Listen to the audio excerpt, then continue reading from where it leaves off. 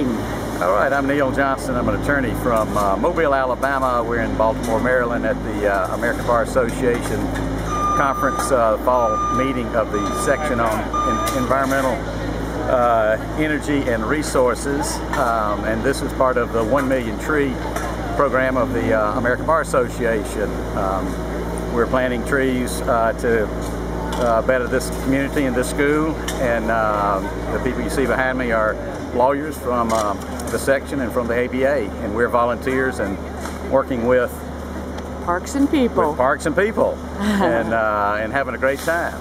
Thank you.